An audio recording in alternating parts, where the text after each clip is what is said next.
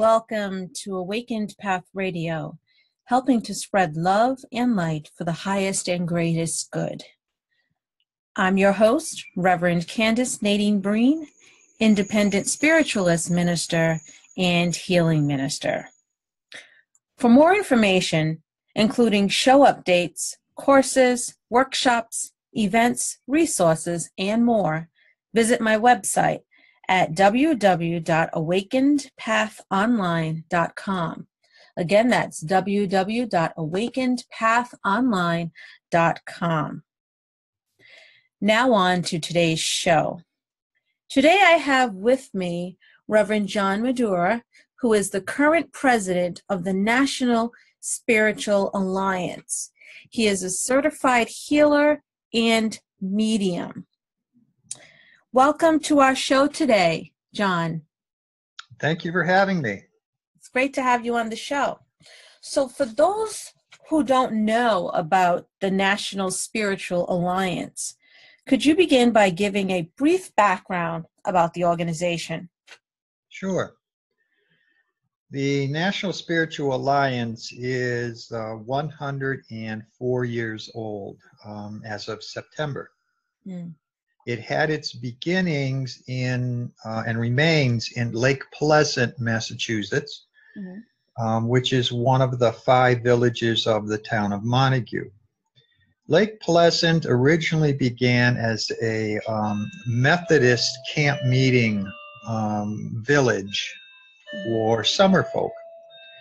It then became a spiritualist um, camp meeting uh, area, oh, in the 1860s, 1870s. And actually, Lake Pleasant is the oldest um, spiritualist or surviving spiritualist community mm. from that from that era. Um, the New England Camp Meeting Association, which resided there, had its own a large temple, and they were part of the um, National Association of Spiritualist Churches.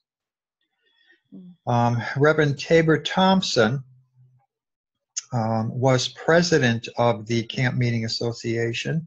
He also published a, um, I think it was a monthly publication called um, the National Spiritual Alliance. Um, the building that we now have our temple in, I be- we believe, was the original print house for that.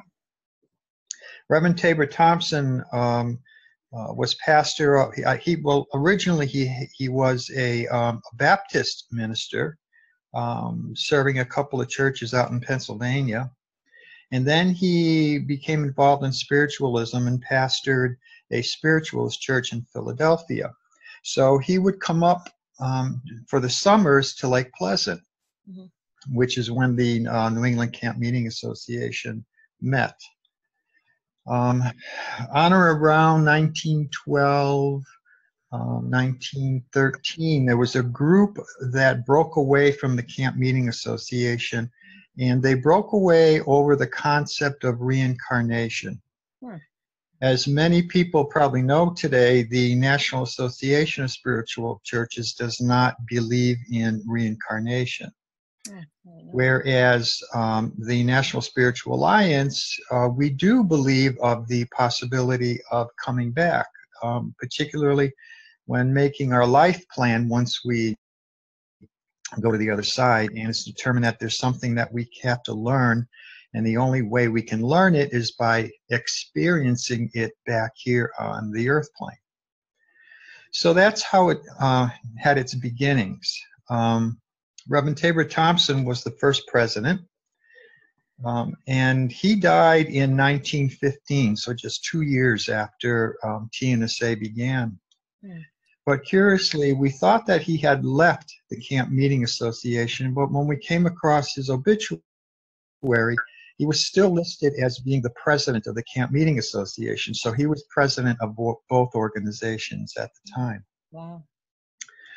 Um, during, um, and I'm going to say TNSA instead of the National Spiritual Alliance. Yep, that's fine.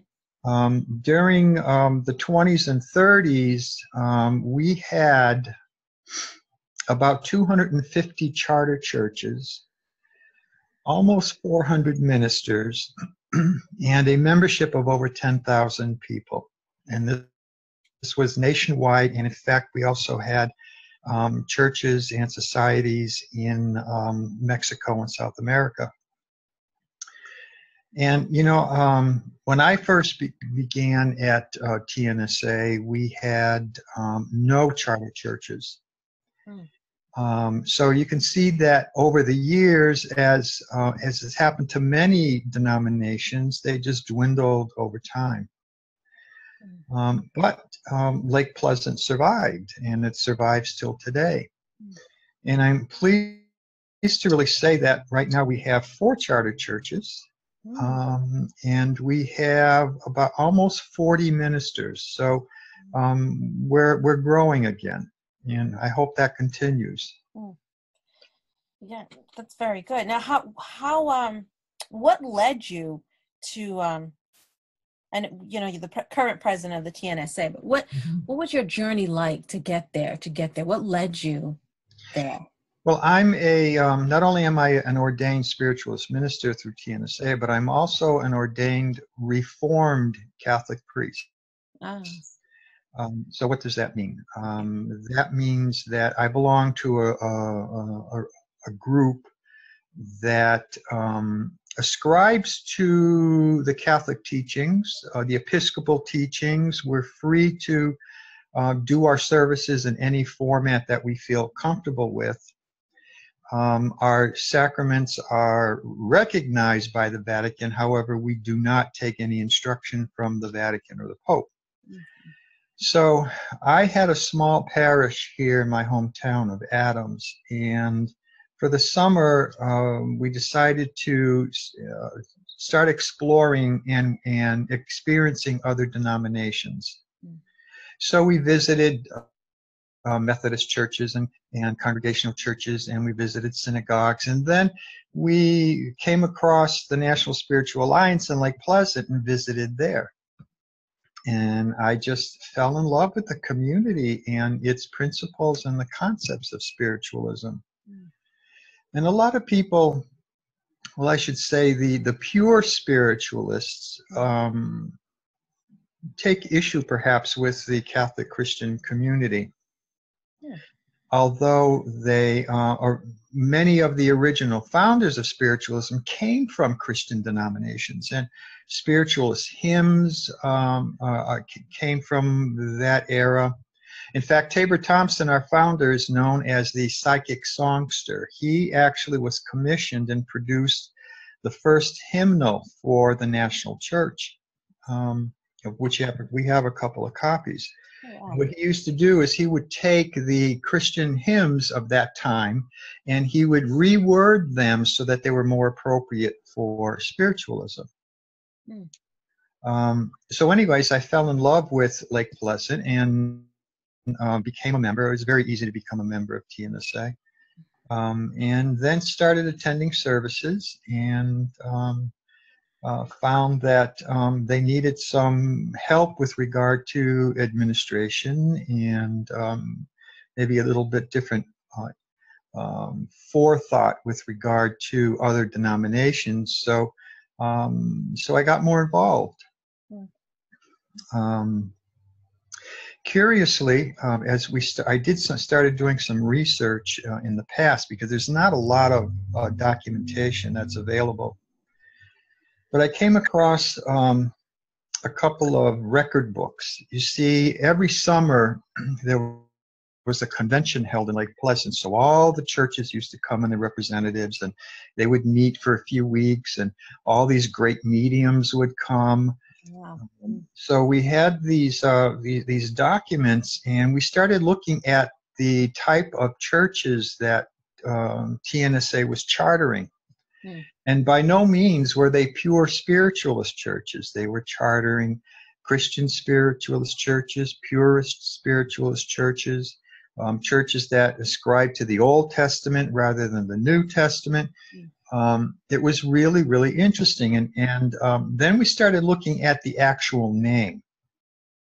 Mm. And the name is the National Spiritual Alliance. Yes. So we looked at that word spiritual and we said, you know, that's different than the National Association of Spiritualist Churches. So, what did the original founders, what was their intent by using the word spiritual? And we believe that because they kept the word spiritualist out of it, that they wanted to kind of do a uh, an interfaith um, uh, an interfaith type of theology where they actually welcomed people into the TNSA community who came from varied backgrounds, uh, varied uh, denominational and theological backgrounds. And rather than having them put all of that aside, I believe that the intent was for them to say, no, we welcome those um, those thoughts and ideas, and you can commingle those with spiritualism. Mm-hmm. Because after all, what is spiritualism? But actually communicating with those who have departed to the other side. Mm-hmm. And any religion, which is the majority of religions in the world, believes in life after death. Right. So spiritualism works very, very well in, in conjunction with most of the other major denominations. So that's how I came into um, into Lake Pleasant. And uh, at the time, I was also um, chief financial officer for a major nonprofit in the area. So that kind of administrative background just worked really well. Um, yeah, so that's how I got there.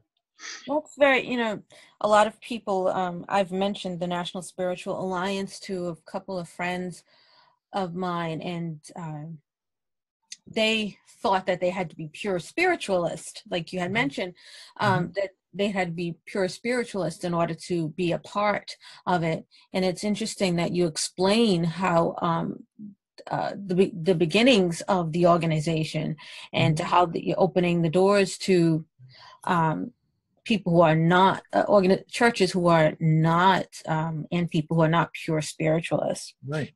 So, um, how do you see um, the TNSA as being of service to the, the entire spiritual community, the uh, the spiritual community as a whole. I know you touched upon it um, briefly, but going forward.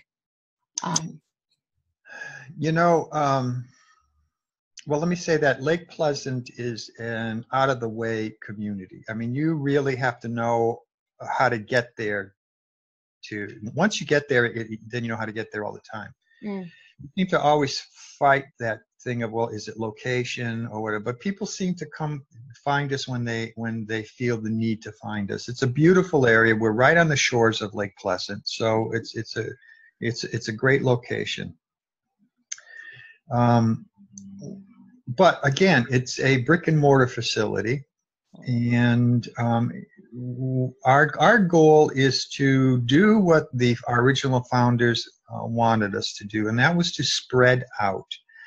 So we're constantly looking for people who are good candidates um, for ministry, who have the ability and have the desire to perhaps uh, develop a community in their location.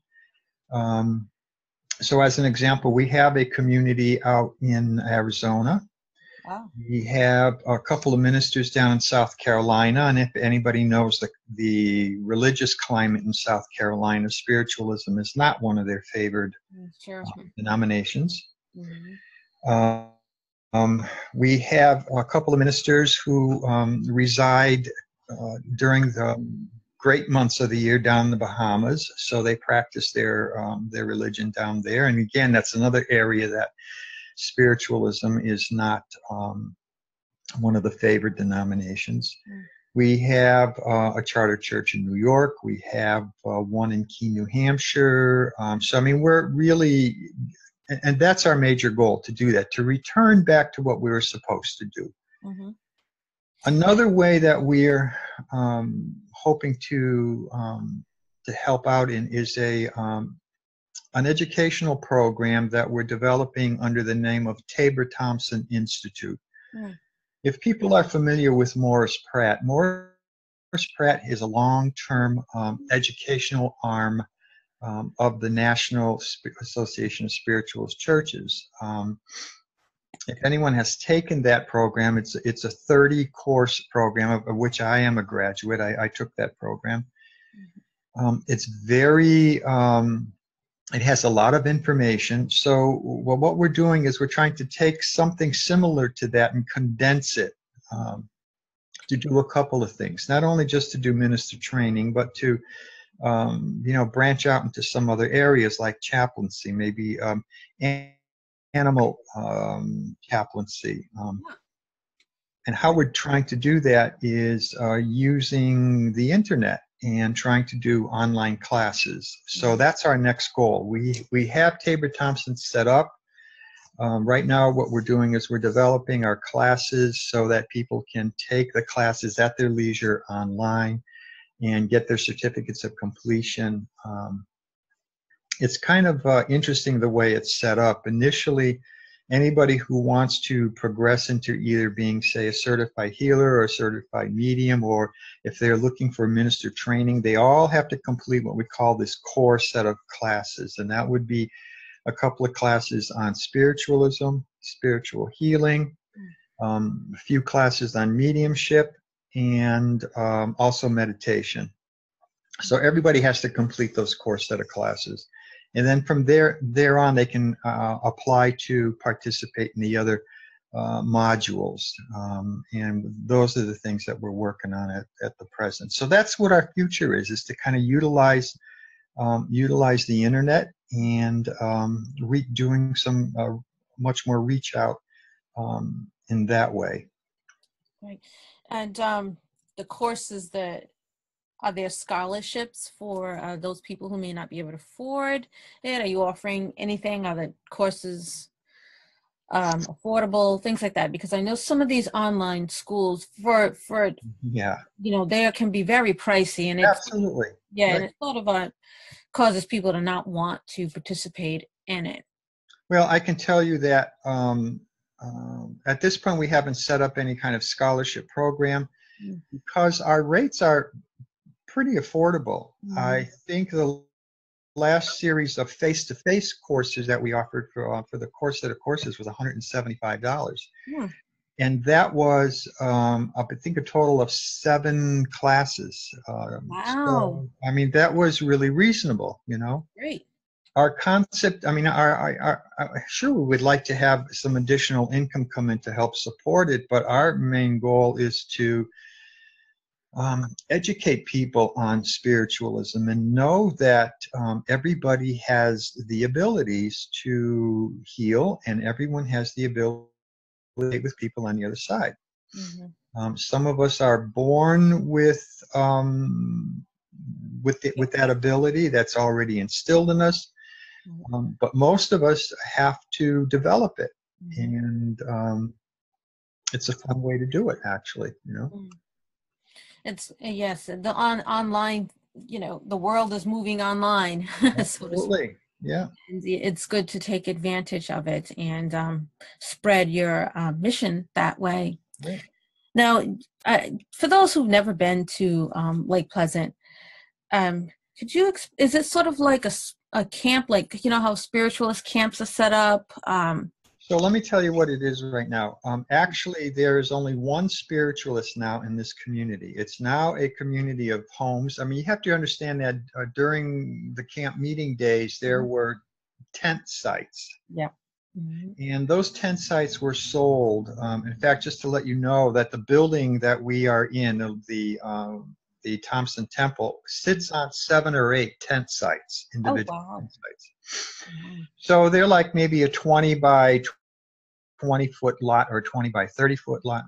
And a lot of times, um, what people did is they bought multiple lots and then they built cottages on them. Mm-hmm. So that's what Lake Pleasant now is, is a community of these older style cottages. Mm-hmm. um, back in 1907, there was a major fire that destroyed um, more than half of the cottages in the community in Lake Pleasant. So um, it took a while for that community to recover, and um, they did, um, but not as well as what they did. You know, not not the same kind of um, fervor fervor that they had before the fire. Mm. Um, so that's kind of like what Lake Pleasant is now. You have a lot of, of these older cottages that people have rehabbed, and most of them look pretty well. And you have some other cottages that um, you know could use some use some help. Mm-hmm. Um, but the community itself is a pretty tight knit community. In fact, we host the um, um, the meeting for the Lake Pleasant Village Association. So they they meet in our in our temple. That's excellent. Yeah. You know, so I I, I I've um, going up to uh, Camp Etna and um, mm-hmm. and um, the same situation there with uh, you know they're trying there is sort of um resurgence of interest and they have some cottages there uh, that uh, are people living year round and some that just seasonal and there are some that need work and also a fire destroyed um, quite a bit of uh, the tent sites and the cottages Mm-hmm. Um, I forgot when it was, but it was in the early 1900s.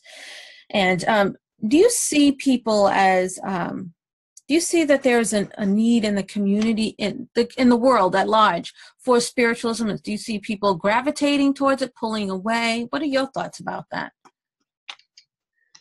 What I see is um, I a lot of people who carry um, significant hurt hmm. and um, that they've experienced from other denominations. Mm-hmm. So they they come to us for healing. Um, in the in, in that one sense, I experience we experience a lot of people that have um, some significant uh, personal issues that they can't resolve through uh, through either through a counselor or through um, their um, their pastor at their other religious denomination. So they come to us looking for messages from the beyond. Mm. Um, I can say that when we hold we hold weekly services, and um, often more than fifty percent of the people that attend are not members. Mm. These are people that come um, looking for some sort of information or some kind of solace so yeah, there's a lot of folks out there that are are actually looking for um, a, a community to belong to, I guess. But the issue that I think we have, as well as all other denominations, is people don't like to commit to anything mm-hmm. any longer. Mm-hmm.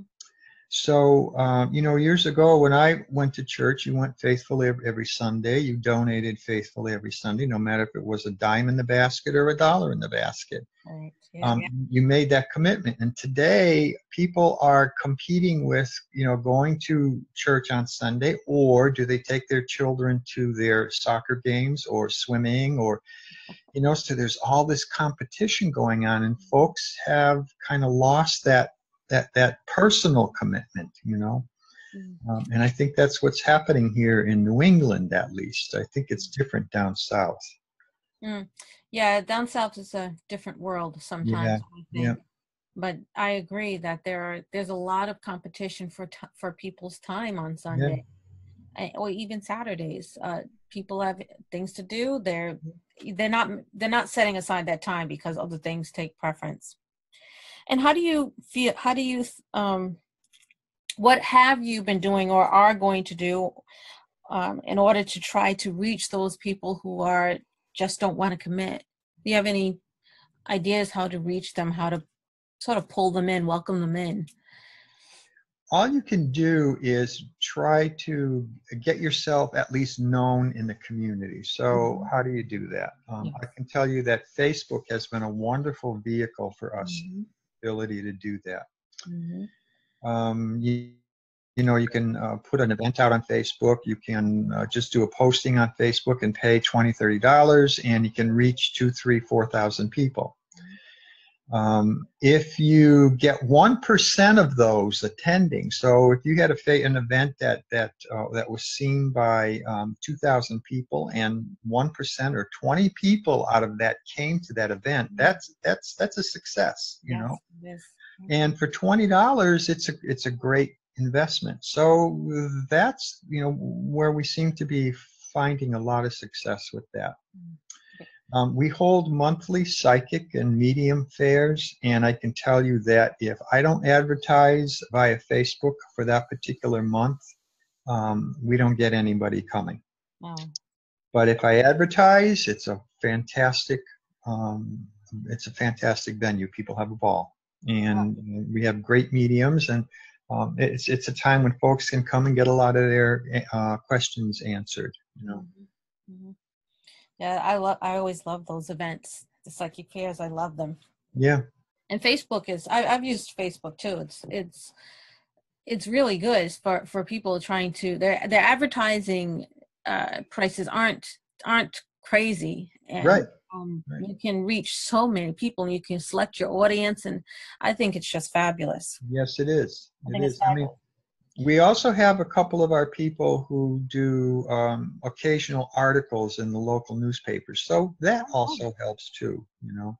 Yeah, putting your name and fit in front of people that's uh, important. I think it, it even if they just pass by it at least it's it's in their subconscious somewhere exactly exactly. all right so we've had a great in- interview thus far. And how would you know some people some of our listeners might want to um, learn more about the tnsa contact you or you know um, take your classes We have a wonderful website. Website. It's www.spiritualallianceusa.org. hmm Um, and on that website, um, we list all the events that are happening, who is speaking every Sunday. By the way, every Sunday is a different speaker, um, different medium. Very nice. Um, uh, again, folks come from a variety of different backgrounds, whether that be Christian. We even have had a, a Buddhist priest um, at one of our Oh, um, really? services. Wow. Yeah, we've had her there a couple of times. Um, and also, let's see what else would be on there. Information. I don't want to interrupt, but do you record any of these? Um, No, we don't. Um, I can tell you that the national church in that, that resides in Chicopee, Massachusetts, they do record. In fact, I speak there occasionally, and they record um, the voice recording of the um, of the sermon or the inspirational message, and they they post it online. that's No, we great. haven't done that yet, but that is something that we can look forward to doing in, in the future. That would be wonderful. Yeah, it would be. It Hmm. would be. I'm sorry to interrupt. You were. That's okay. So that's one website. Mhm. And um, the other website, if people are interested, is uh, it cross links with it is uh, www. Um. Um, T A B O R Thompson T H O M P S O N Institute.org. And you know the interesting thing here, and I don't, uh, I, I just kind of came across this a couple years ago, but um, the name Tabor, and I don't know if any people know what Tabor is. Um, Mount Tabor is a mountain in Israel, Oh, and t- the Mount Tabor is the place that Jesus took um, his apostles Peter and um, and James to to witness the transfiguration. And what the transfiguration is, is when Jesus communes with the spirits of Moses and Elijah. oh wow. So the name Tabor, uh, whether it, uh, it was destined to be that way or not, I, I, it just kind of like all fits together. If, if you catch my drift with Yes, I do. It, that's that's you know, uh, with our founder's name being part of that. So isn't that interesting. isn't it? That is. That's so. That's so awesome. And on their on the on your um the National Spiritual Alliance people can website people can contact you as well. Mm-hmm. Yep, there's a contact uh, form right there. People can, um, um, you know, make their questions or comments. We, we also have a healing page, so if people want to request um, healing, they can also do that there too. And the healing's uh, done during the service, cor- correct? Well, um, actually, no. If No.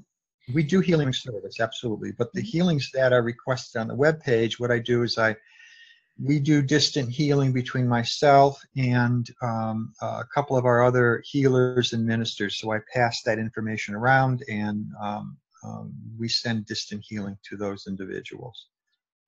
That's fantastic. That's excellent. So, well, John, if you don't have anything else to tell us um, about any future plans for the organization, where it's going, Well, here's what I can say: that this is um, my last year as president. oh no. Yeah, so um, um, in July, we'll be having a, um, our annual meeting. And they'll be electing a, an- another person to fill that spot. Um, I may stay on uh, with the board and um, we'll see how things kind of, kind of work out. I've been president, this will be my sixth year. I've been on the board for 10 years and um, it, sometimes it's a, a really good idea to get some fresh blood in, some fresh ideas. And I think this is a, a really good opportunity for that to happen. Hmm. Um, I may, like I said, I may stay on the board in the capacity of, an, of another officer's position, or um, at, because we're in a growth mode, there's a couple of other positions that we're, we're thinking about developing to um, so that we can do some additional outreach. So I might I might go into that. So we'll see. Um, but it's going to be an exciting year, and Wow, I'm, it's a lot happening. I'm, I'm really looking forward to it. You know. Ah, Well, we wish you all the best in whatever you choose to Thank do you very, af- very much. after this phase. And I've Well, great, you know, I'd love to go down and visit you guys, and uh, you know, if you get yourself uh, in back into a, a physical situation again, uh, go down and help you out. Mm-hmm. oh, Um, that's wonderful. Those are the kind of things I'm looking forward to doing. You know, Oh, that's fantastic. Well, I'm, I might call you up on that. So there you go. be prepared. No problem. well, I've definitely enjoyed talking with you during this wonderful interview today. Well, thank you so much. It's been a pleasure for me also, um, and I, I can't thank you enough for this opportunity. It's it's my pleasure as well. Well, everyone, we are out of time for today. As always, you can visit www.awakenedpathonline.com for show updates, courses, workshops, events, resources, and more. Again, I'm Reverend Candace Nadine Breen, and thank you for listening to the Awakened Path Radio. Namaste and blessed be.